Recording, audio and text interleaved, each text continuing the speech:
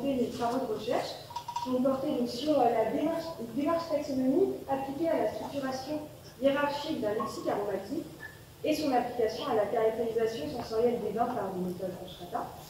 Donc cette thèse elle a été réalisée en collaboration entre le laboratoire GRAP de l'École supérieure d'agriculture d'Angers et le laboratoire STATSC de Neuilly-Saint-Mantes. Et elle a été cofinancée par l'ESA et également par la région Pays de la Loire via le programme Tout pour tout.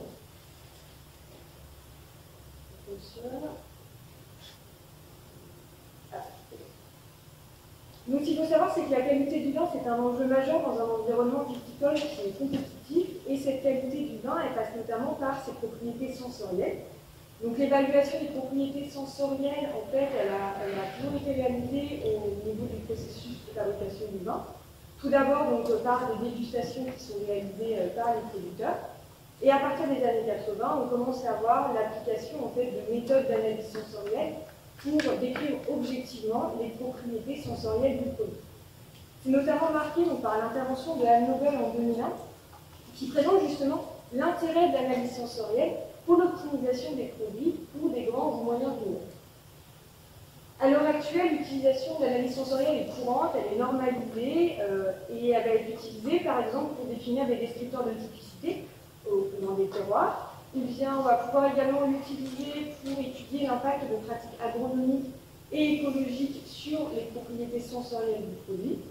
Donc autant d'éléments qui vont pouvoir être utilisés à des fins de recherche, mais également plutôt euh, d'un point de vue euh, communication et marketing pour euh, valoriser un terroir, valoriser un secteur. Pourquoi s'intéresser plus particulièrement au vin et à l'analyse sensorielle appliquée au vin en fait, dans le vin, il y a entre 600 et 1000 composés volatiles, euh, ce qui veut donc dire une forte expression aromatique, d'autant que ce sont des composés qui vont interagir entre eux. Qui dit large expression aromatique dit également un vocabulaire qui va être riche et diversifié pour justement pouvoir rendre compte de cette diversité aromatique.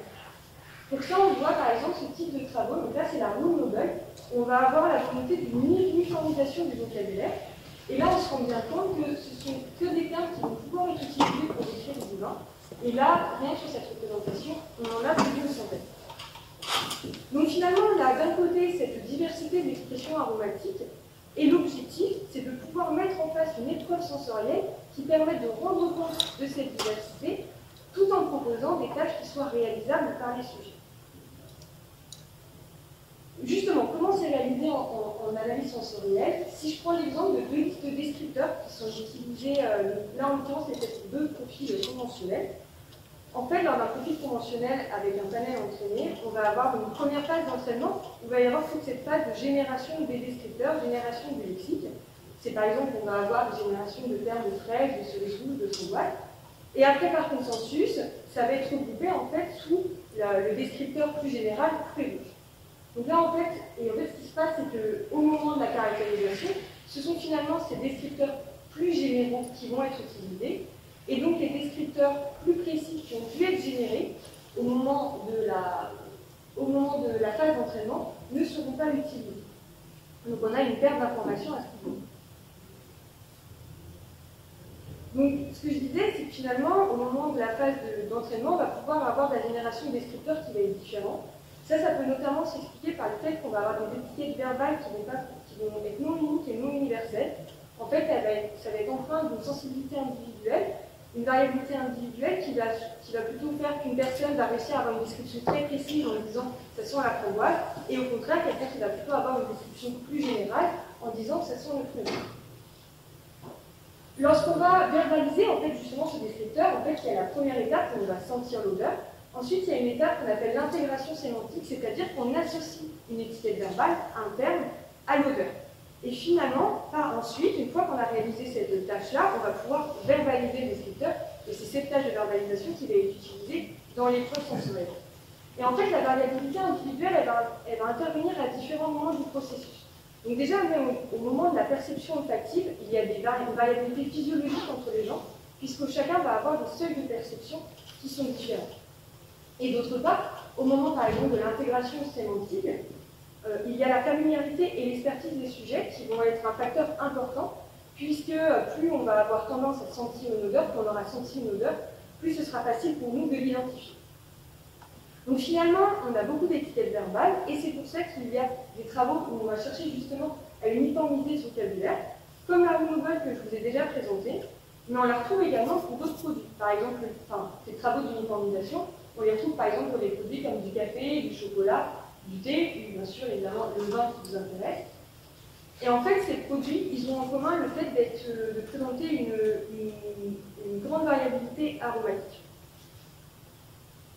Donc justement, euh, on a ici une déstructuration du lexique. Maintenant, je vais plutôt m'intéresser à la manière dont on va pouvoir structurer le lexique. Globalement, il va y avoir deux étapes. Une première étape on va sélectionner les termes qui font partie du lexique, et une deuxième étape où on va structurer ces termes. Donc là, je vais vous présenter l'exemple de deux références. Donc la roue de Noble, et qui est appliquée au vin, et également la roue des arômes de Spencer, qui est celle-ci appliquée euh, à des arômes de café. Alors, dans les deux situations, on va avoir la génération des, termes du lexique par rapport à des experts du domaine, que ce soit via un comité ou euh, via euh, des, dégustations pour la, pour la. Et après, pour la méthode de structuration, en fait, dans la roue Nobel, on va avoir une structuration qui va être empirique, c'est-à-dire qu'on va considérer les connaissances du domaine euh, et grâce à des dires d'experts, on va pouvoir réaliser la structuration hiérarchique. En revanche, dans l'article de Spencer, il va y avoir une recherche vraiment objective euh, euh, de la structuration qui va passer par un hiérarchique et ensuite par la construction d'une taxonomie par classification, donc sur des coordonnées de MDF. Dans ces deux articles, ensuite, il y a, une fois qu'ils obtiennent cette structuration du il y a un choix de représentation sous la forme de mots. J'insiste bien sur le fait que, la roue, c'est bien une représentation de la structuration hiérarchique qui est mise en évidence. Pour continuer sur ces structurations hiérarchiques, finalement, on, en trouve beaucoup, mais finalement, on se rend compte que, que le nombre de n'est pas justifié. Généralement, on va avoir deux à trois niveaux invoqués, euh, mais on ne va pas trouver de justification à ce niveau-là. Un point qui, sera, qui va particulièrement m'intéresser aujourd'hui, c'est qu'on ne se questionne pas sur la stabilité de la structuration qui est obtenue. Et enfin, un dernier point, euh, c'est la représentation. on voit que la représentation en ligne, c'est celle qui est plutôt plébiscitée, euh, mais pareil, elle n'est pas justifiée. Si on s'intéresse plutôt maintenant aux structurations hiérarchiques par rapport au lexique du vin, donc comme j'ai montré par exemple dans la roue Noble, on va être sur quelque chose d'empirique. et finalement, on ne trouve pas d'article où il va y avoir la, construction objective dans le sens de, de, ce qui a été fait par exemple pour la route des arômes de Spence. Et finalement, en fait, ces structurations hiérarchiques, pourquoi elles sont intéressantes par rapport à l'analyse sensorielle? Parce qu'en fait, elles présentent l'avantage de regrouper un grand nombre d'attributs. Et en plus, elles présentent l'avantage de compiler des attributs qui vont être à la fois généraux ou et des attributs qui vont être spécifiques, qui vont du coup pouvoir répondre à la variabilité, à la sensibilité individuelle des sujets. Maintenant, je vais plutôt m'intéresser aux processus cognitifs qui vont justifier justement euh, la structuration hiérarchique. Finalement, une structuration, c'est une succession, en fait, de, c'est des catégorisations. Donc pour ça, c'est des catégorisations qui sont imbriquées. Donc pour ça, je vais revenir sur les, euh, les différentes théories qui sont, qui sont autour de la catégorisation. Donc on a d'abord la catégorisation par attribut qui est l'approche classique où en fait on va considérer que les objets d'une catégorie se définissent par un ensemble de caractéristiques communes. On, a également la catégorisation donc prototypique, euh, c'est la théorie rochienne, où on va considérer qu'on a des catégories qui sont formées autour d'un prototype ou d'un modèle fictif. Et sur le même exemple, on a la catégorisation par l'exemplaire, où cette fois aussi, on va structurer notre catégorie autour d'un objet qui, cette fois-ci, est réel et un objet de la catégorie. Là où ça m'intéresse plus particulièrement, c'est l'organisation qu'il va y avoir de ces catégories.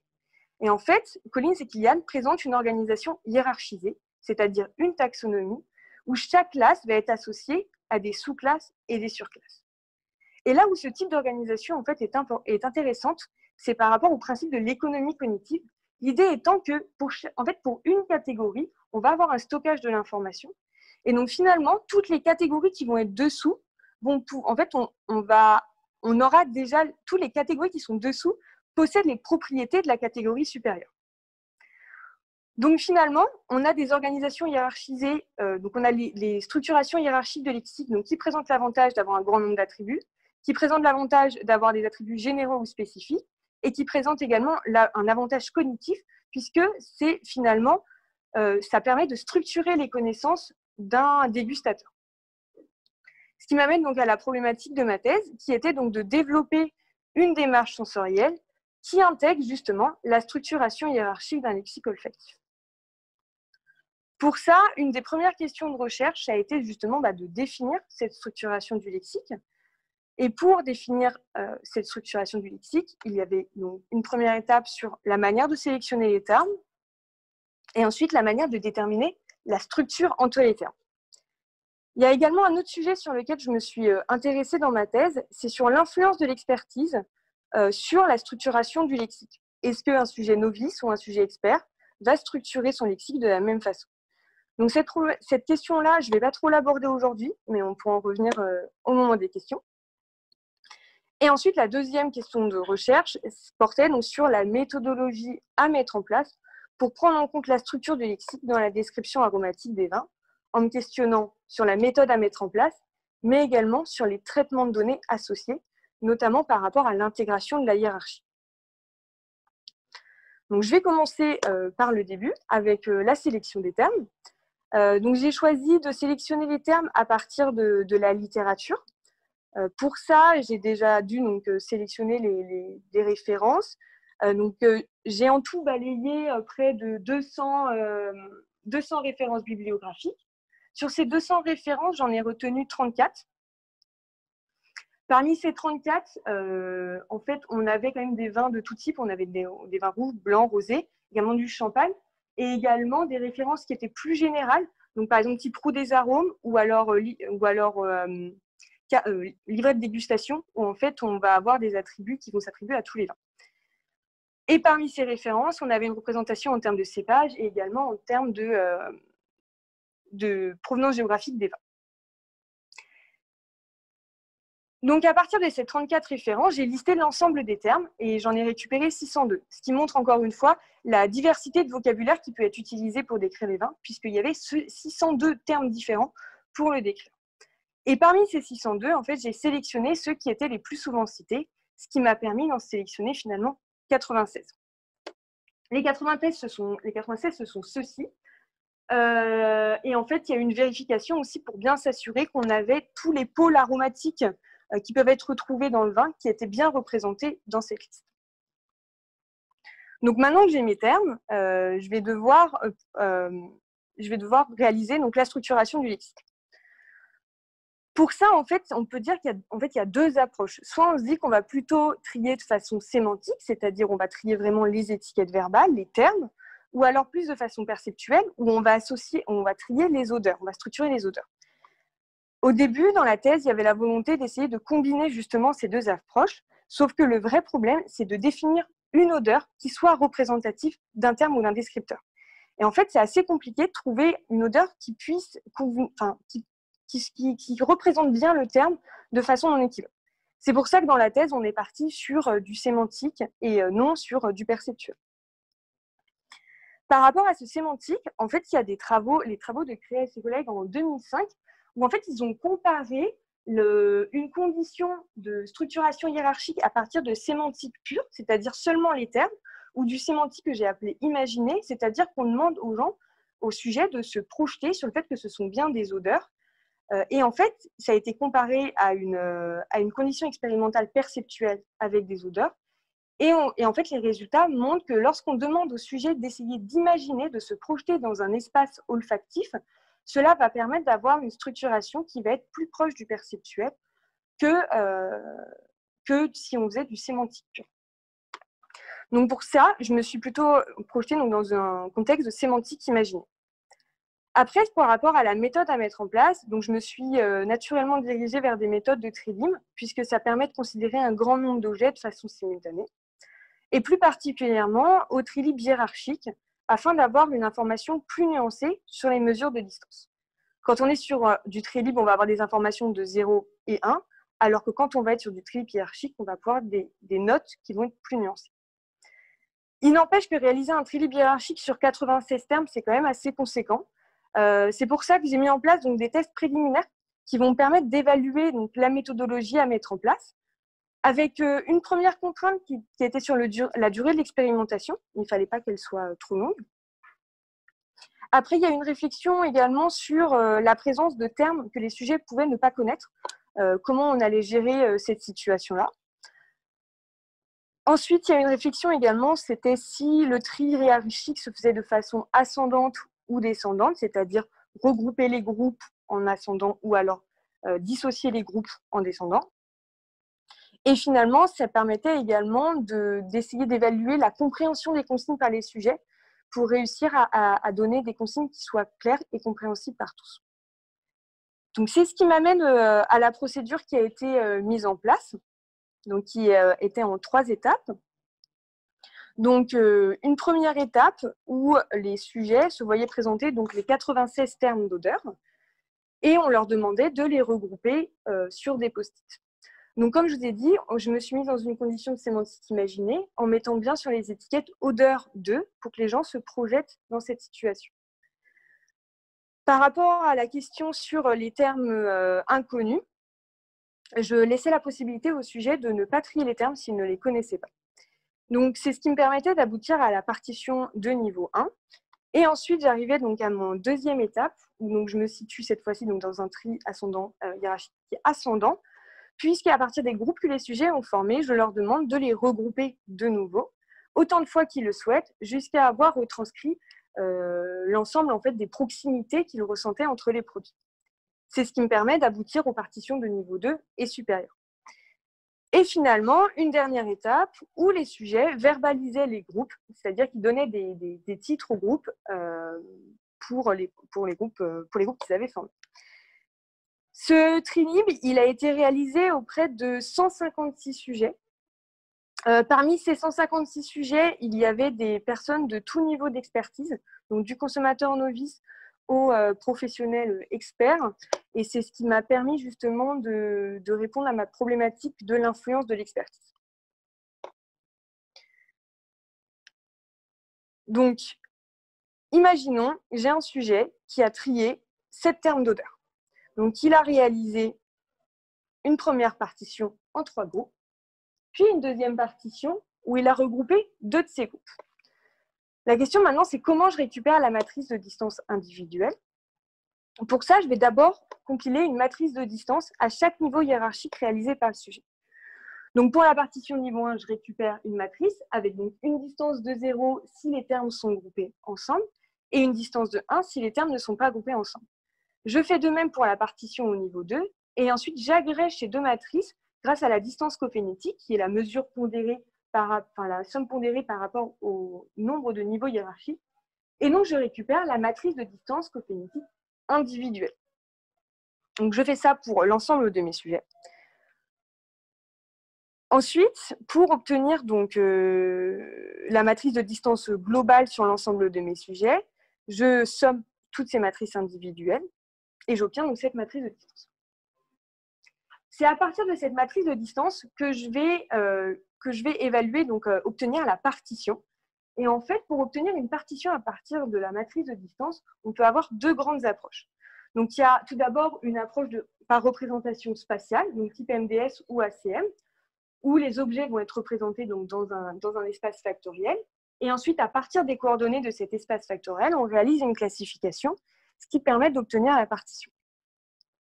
Il y a une autre approche qui est la représentation réseau, euh, les arbres, notamment les arbres additifs, où là, en fait, on calcule ici, par exemple, un arbre additif, et en fait, cet arbre additif, ensuite, on coupe les branches.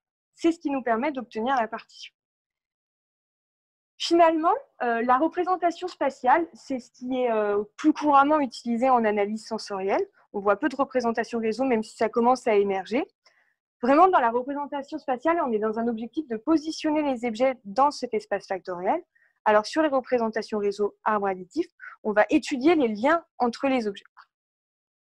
À noter aussi que lorsqu'on travaille dans, une représentation spatiale, lorsqu'on a beaucoup d'objets, on peut avoir une interprétation qui va être compliquée parce qu'il va falloir, par exemple, aller voir beaucoup de dimensions pour pouvoir expliquer tout le jeu de données. Euh, donc, dans le cadre de ma thèse, moi, je me suis intéressée plus particulièrement euh, aux arbres additifs puisque ça paraissait plus cohérent comme on essayait d'étudier justement les liens entre les termes du lexique. La question qui se pose par rapport à ce choix de travailler avec les arbres additifs, elle est au niveau de la coupure des branches, puisque finalement, on pas, il n'y a pas dans la littérature de procédure claire sur la stratégie à mettre en œuvre pour couper les branches d'un arbre et obtenir une partition. Donc c'est sur cette partie-là maintenant que je vais, plutôt m'intéresser sur la manière de couper les branches de l'arbre et obtenir une partition. Pour ça, euh, j'ai dans un premier temps donc, euh, mon arbre additif qui est créé donc, à partir de la matrice de distance. Et cet arbre additif, je vais mesurer la cohérence de chacune des arêtes internes, ou branches, grâce à la mesure du lens ratio. Je vais couper l'arête qui a la plus grande valeur de lens ratio, ce qui va me permettre d'avoir deux sous-ensembles. Donc là, dans l'exemple, je vais avoir un sous-ensemble citron-orange et un sous-ensemble pomme, poire, fraise, framboise, cerise. Et en fait, pour chaque sous-ensemble qui est généré, je vais évaluer son homogénéité. Si j'ai une homogénéité qui est suffisante, dans ce cas-là, j'arrête de couper ce, sous-ensemble et je considère qu'il forme une classe de la partition. En revanche, si j'ai une homogénéité qui est insuffisante, dans ce cas-là, je vais réextraire la matrice de distance de ce sous-ensemble et je vais recommencer l'algorithme et ainsi de suite. Donc, je recalcule l'arbre additif à partir des 5 de, ce sous-ensemble. Je coupe à la valeur de la ratio, j'obtiens une matrice de distance, etc. Jusqu'à ce que tous les classes que j'ai formées en fait, euh, respectent la condition d'homogénéité, qui est mon critère d'arrêt. Et donc, euh, et donc j'obtiens ainsi la partition de termes d'Odin. Euh, tout ça, donc, ça a été euh, l'ensemble des scripts, il a été réalisé donc euh, sous R et il y a actuellement un travail de formalisation qui est fait par notamment Oniris pour justement pouvoir partager ces scripts. Après, donc, ce que je vous ai présenté dans l'introduction, c'était par rapport à la stabilité de la structuration, qu'on ne s'interrogeait pas sur la structuration, la stabilité qui a été obtenue. Donc, c'est sur cette partie-là maintenant que je vais m'intéresser. En fait, une partition elle va être considérée comme stable si les changements dans le jeu de données ne vont pas avoir d'effet sur l'association des objets aux classes. Donc, pour créer cette euh, perturbation dans le jeu de données, j'ai réalisé donc du bootstrapping sur les sujets, c'est-à-dire du tirage avec remise de ces sujets. Donc, j'ai réalisé B bootstrapping qui me permet d'obtenir B matrices de distance. Et à partir de ces matrices de, enfin, sur chacune de ces matrices de distance, je vais réaliser donc l'algorithme dichotomique que je vous ai présenté, qui va me permettre d'obtenir B partitions. Et c'est en fait à partir de ces partitions issues de données bootstrappées que je vais pouvoir évaluer la stabilité de ma partition de base. Et là aussi où a reposé l'originalité de mon travail, ça a été de pas seulement m'intéresser à la stabilité de la partition, mais d'aller étudier plutôt la stabilité de la classe pour essayer d'être plus précis. Cette stabilité à l'échelle de la classe, je l'ai évaluée grâce à deux critères, la cohésion et l'isolation. La cohésion, en fait, c'est la capacité d'une classe à, perdre ou pas un élément d'une partition bootstrappée à l'autre. Au contraire, l'isolation, ce sera la faculté de la classe à capter des éléments sont présents dans d'autres classes dans la partition de référence. Donc finalement, plus une classe est cohésive, plus elle est isolée, plus elle sera stable. Euh, ce qui est intéressant de remarquer également, c'est qu'à partir de ces mesures de cohésion et isolation de la classe, on arrive à remonter à la cohésion et isolation de la partition. Et on arrive également à remonter à l'indice de rente entre deux partitions, qui est un critère fréquemment utilisé en analyse sensorielle. Donc là, j'arrive à obtenir en fait la stabilité de chacune de mes classes et donc, j'arrive à savoir si la classe, elle est stable ou non. Et maintenant, pour savoir quels sont les termes qui sont, les objets dans la classe qui vont euh, expliquer cette faible stabilité, je vais aller voir la stabilité à l'échelle de l'objet grâce au degré d'association des objets aux classes. Donc, à partir de tous ces éléments-là, je vais pouvoir analyser la stabilité. Donc, je vais vous montrer maintenant les résultats que j'obtiens concrètement sur mes données. Donc, la partition que j'obtiens, elle est composée de 24, de 24 classes. Et la stabilité de chacune de ces classes, elle est représentée donc, dans ce graphique avec euh, donc, les mesures de cohésion et d'isolation. Donc, comme je vous ai dit, les, euh, classes qui auront une bonne cohésion et une bonne isolation, c'est cela. Et donc, ils auront forcément une bonne. Donc, c'est des, classes qui ont une bonne stabilité. En revanche, on se rend compte qu'il y a d'autres classes qui, eux, vont présenter une stabilité moindre, soit par rapport à leur isolation, soit par rapport à leur cohésion. Et c'est sur ces classes que je suis allée, euh, regarder de plus près et où je suis allée regarder la stabilité des objets. Par exemple, si je prends la classe 18, elle est composée des, des termes figues et fruits mûrs. Et en fait, quand je regarde le degré d'association, je me rends compte qu'il a un degré d'association de 0,4 pour sa classe 18, mais en fait, il a un degré d'association de quasiment 0,8 pour la classe 19, qui est la classe qui est composée des fruits rouges. Donc en fait, ce que je fais, c'est que le, terme fruit mûr, je vais également l'attribuer à cette classe 19. Et il se trouve que si on regardait le, profil du terme figue, on observe le même résultat, ce qui fait qu'en fait, figue et fruits ont tous les deux été déplacés dans la classe de fruits rouges. Si on va maintenant s'intéresser à la classe 4, euh, dans la classe 4, il y avait les attributs laurier, menthe, thé et. Et en fait, le degré d'association de menthe pour, euh, pour sa classe, mais également pour la classe 1 qui est composée de réglisse anis, est quasiment équivalent. Ce qui fait qu'en fait, l'attribut menthe, il a été laissé dans sa catégorie 4, dans sa classe 4, mais il a également été réattribué à la classe 1.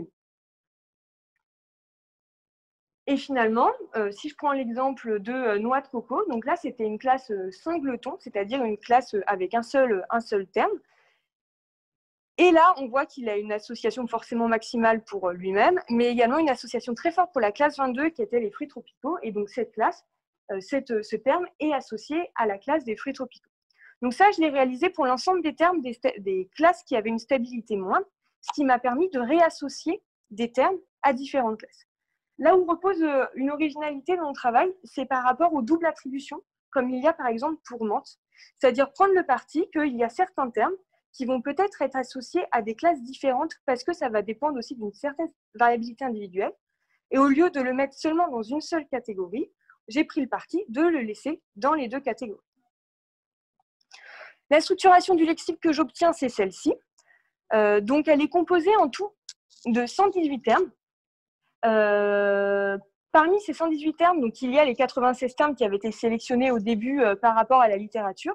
Et la raison pour laquelle on arrive à 118, c'est parce que j'ai rajouté en plus les titres des, regroupements qui sont issus de qui ont été, qui ont été sélectionnés par rapport à la verbalisation qui a été réalisée lors du trilib hiérarchique. Donc, dans cette structure, j'ai le niveau le plus général, euh, que je vais appeler les familles, que j'ai appelé les familles, que je vais appeler familles dans le reste de la présentation. Donc, il y en a neuf. Euh, les catégories intermédiaires, qui, euh, il y en a 20. Et enfin, donc, les termes que je vais qualifier de spécifiques, qui vont être les, dans la, qui vont être à la partie la plus spécifique de la structuration. Donc là, j'arrive à la fin de la première question de recherche qui était portée sur la structuration du lexique. Maintenant, je vais arriver à, euh, plutôt à la problématique de comment intégrer cette structuration hiérarchique dans une évaluation sensorielle. Pour ça, en fait, j'ai développé une approche que j'ai appelée euh, Ashrata, qui va permettre de présenter les attributs de façon hiérarchique. Donc, c'est Ashrata pour Hierarchical Rate All Data Apply. Euh, donc, la différence majeure par rapport à un rata classique, ça va être la présentation des attributs, puisqu'en fait, les attributs, ils vont être euh, présentés euh, sous leur forme hiérarchique, et on va permettre au sujet de pouvoir aller sélectionner des attributs qui soient spécifiques ou généraux. En ce qui concerne la représentation, elle a été réalisée donc, via le logiciel FIS, euh, et en fait, il y avait donc une première série d'onglets qui permettait d'accéder donc aux familles. Et ensuite, en cliquant sur euh, les onglets, on pouvait arriver aux onglets de catégorie, ainsi de suite, et donc sélectionner l'ensemble des attributs. Une fois qu'un sujet avait sélectionné donc un attribut, il y attribuait donc une note d'intensité, comme pour du rata classique. Euh, et je l'ai et il le sélectionnait donc sur une, échelle d'intensité en trois points, donc faible, moyen et intense. Et donc cette échelle d'intensité qui a été ensuite transformée pour le traitement des données en des valeurs de 1, 2 et 3.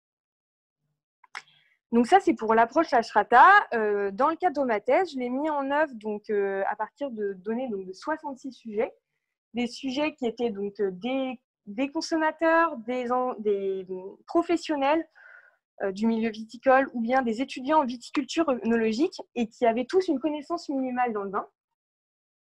Et ces 66 sujets, ils ont évalué donc 6 vins, en réalité 5 vins rosés et un qui était répété, donc ce qui arrivait à 6 vins. Et ils ont évalué ces vins euh, de façon orthonasale, c'est-à-dire seulement au nez. Donc ça, c'est un choix qui a été réalisé de se focaliser seulement sur un aspect sensoriel, euh, même si effectivement, euh, dans les années 60, on va pouvoir avoir différents éléments. Pour en fait le, test de la méthode, on s'est focalisé seulement sur cet aspect. Donc, à partir des résultats que j'obtiens de HRATA, il va y avoir une première phase de codage euh, qui va être très importante puisque c'est à ce moment-là que je vais agréger l'information, que je vais intégrer l'information hiérarchique dans mes données. Pour ça, en fait, l'idée sous-jacente, c'est de se dire, si un sujet a noté un terme spécifique, c'est comme s'il avait noté une catégorie. S'il a noté une catégorie, c'est comme s'il avait noté une famille. Je m'explique. Imaginons que j'ai un sujet qui est noté une note de 2 pour l'agrume, 1 pour le citron et 3 pour l'ananas. Dans ce cas-là, je considère que comme il a noté l'ananas, il a également trouvé une note de fruits tropical, et donc c'est comme s'il avait donné la même note à fruits tropical. Je fais de même pour remonter l'information à fruits, sauf que cette fois-ci, j'ai deux notes.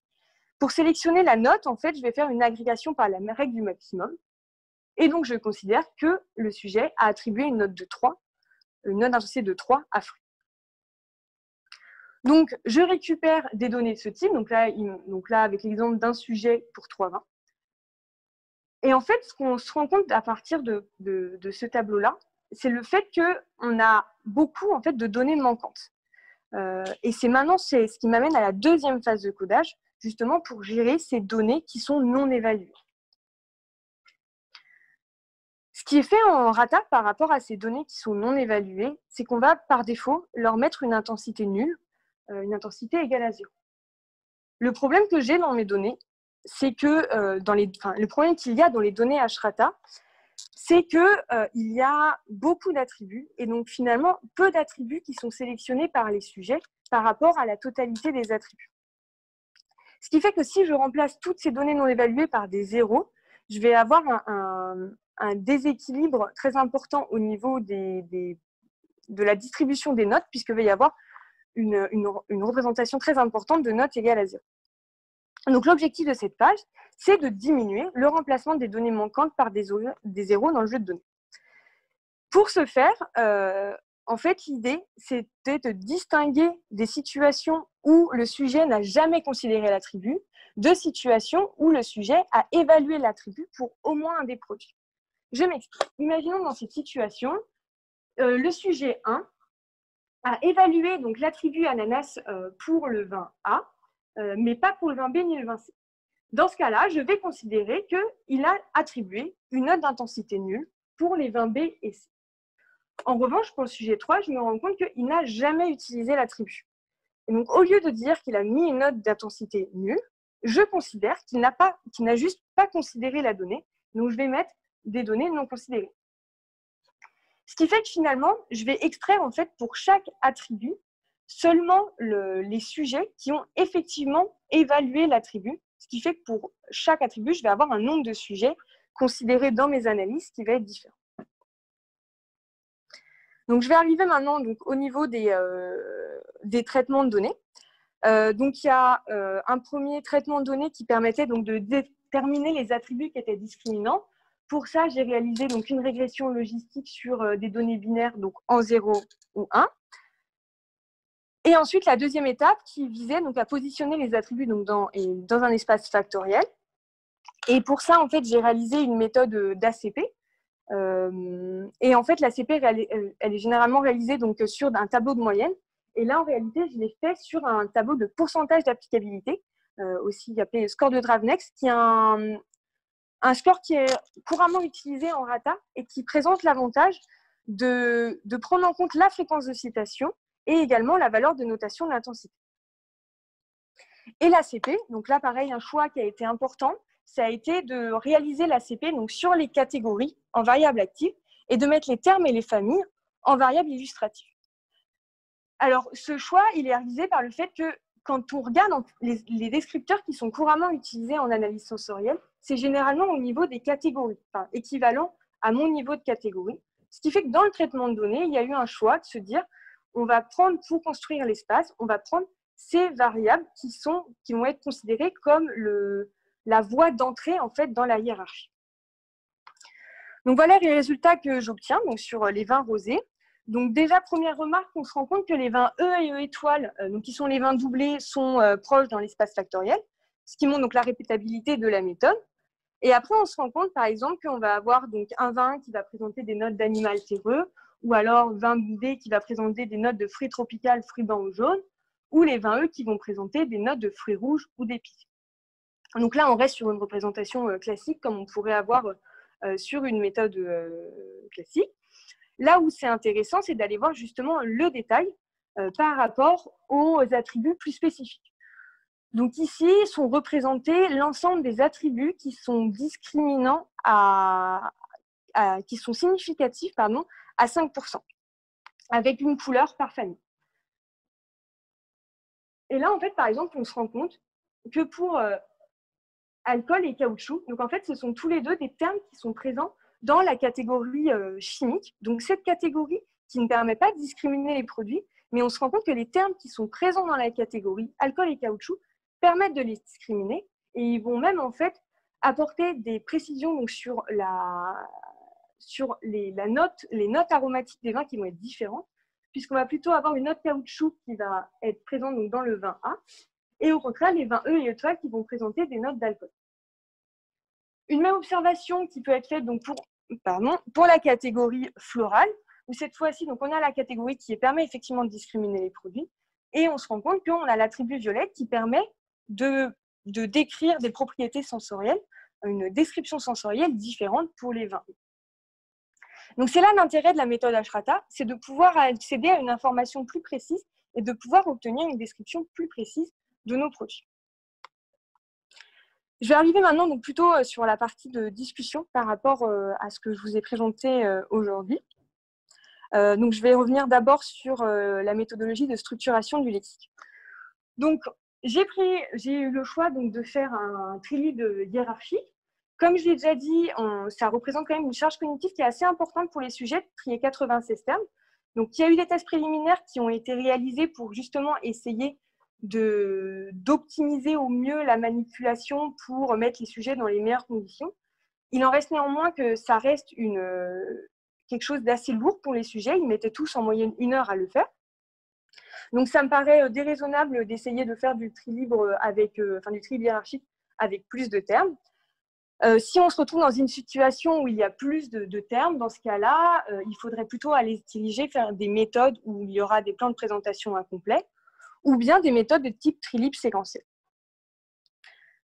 Que faire dans la situation où on veut ajouter euh, d'autres termes à cette structuration euh, plutôt que de refaire euh, tout le processus? Une idée serait par exemple de proposer donc, la structuration qui est déjà définie à des sujets et de leur proposer donc, des termes qu'ils associeraient, associeraient à des catégories et à partir de ça, et à partir de la fréquence d'attribution du terme, de pouvoir décider à quel catégorie, on va attribuer le terme. Par rapport à, la problématique sur euh, l'expertise, euh, donc euh, que j'ai un peu passé sous silence, en fait, ce qu'il faut savoir, c'est que pour obtenir la structuration hiérarchique, j'ai utilisé que mes données expertes. En fait, je me suis rendu compte que en comparant donc les structurations obtenues par quatre groupes différents d'expertise, que l'ensemble des groupes ont tout le temps, enfin la structure va tout le temps être réalisée par rapport aux objets odorants.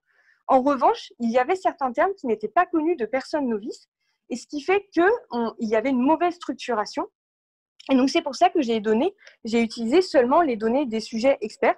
Il n'empêche que euh, la réflexion par rapport au niveau d'expertise pour la construction de cette structuration, elle est importante et je pense qu'elle n'est pas négliger. Finalement, la structuration que j'obtiens, elle est assez similaire à ce qu'on peut observer dans la littérature. Euh, je voudrais juste souligner le fait que la vraie plus-value dans, ce que j'ai proposé, c'est qu'on a des valeurs de stabilité qui sont associées. Et on a également un choix qui a été de, mettre des termes à différents endroits, ce qu'on ne retrouve dans aucune autre, euh, aucune autre littérature. Et finalement, je voudrais insister sur le fait que la sélection des termes en amont, elle est très importante et elle va être vraiment déterminante par rapport à la structure que nous allons obtenir. Pour apporter maintenant plutôt des éléments de discussion par rapport à l'approche Ashrata, euh, donc effectivement, dans le cadre de la thèse, l'approche Ashrata, elle a été testée sur euh, une description orthonasale pour des vins rosés.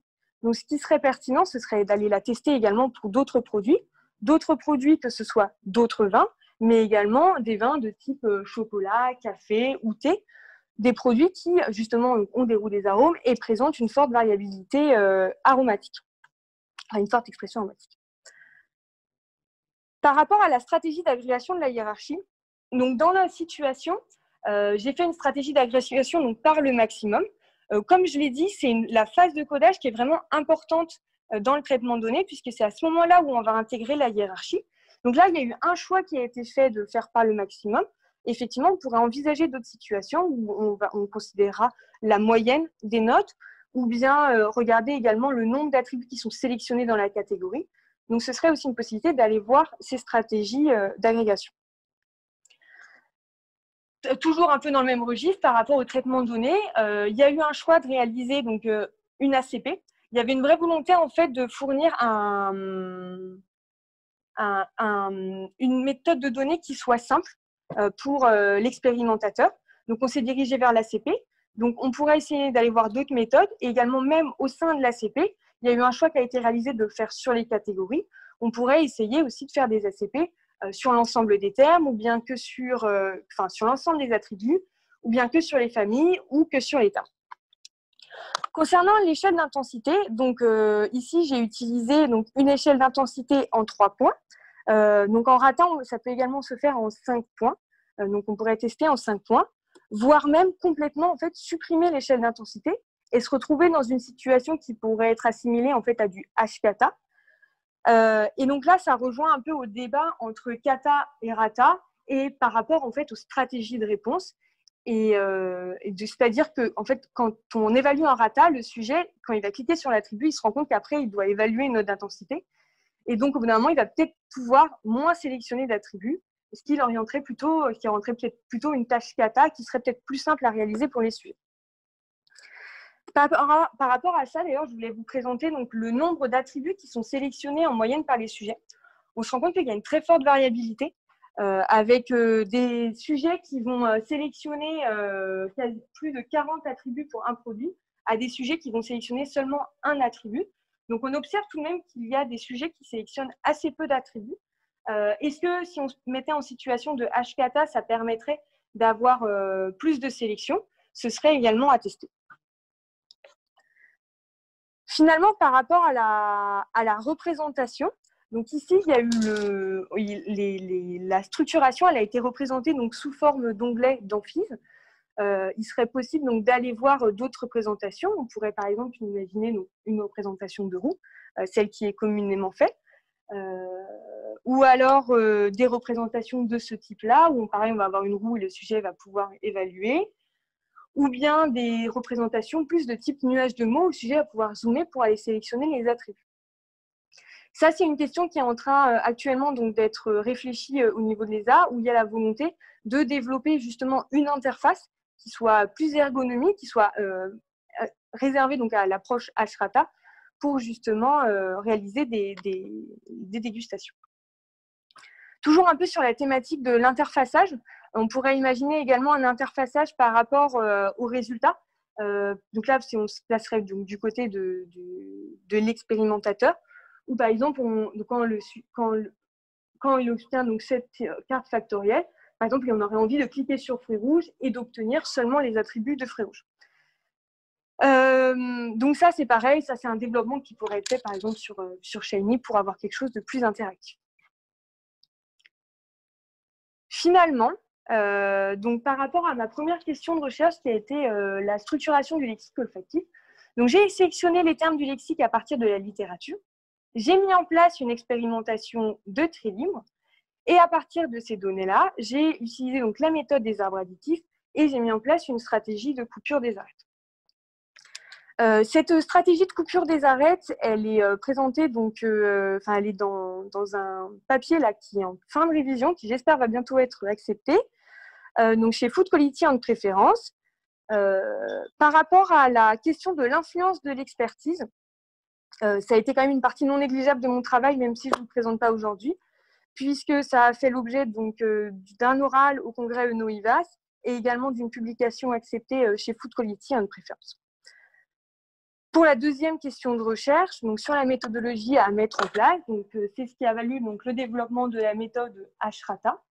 Euh, comme j'ai bien insisté, on a vraiment fait euh, sur un produit. Ça mériterait d'être testé sur d'autres produits dans d'autres situations pour justement plus appréhender la méthode et également les choix de traitement de données. ce travail, donc, il a été présenté en, enfin, l'idée du projet Ashrata a été présentée en poster en Pangborn. Euh, je vais avoir l'occasion de présenter ces travaux-là euh, lors d'Eurosens, donc en décembre, grâce à un oral et un poster. Et finalement, il y a actuellement donc une publication qui est en cours de rédaction euh, pour justement valoriser ce travail. Et je vais profiter de ces derniers petits instants de présentation pour remercier mes encadrants encore une fois pour leur accompagnement pendant ces trois années de thèse, mais également avant, puisqu'ils ont été là aussi pendant mes années ingénieurs. Euh, remercier le jury d'accepter d'être là et d'échanger avec moi sur mon sujet de thèse. Et finalement, vous remercier tous de votre attention.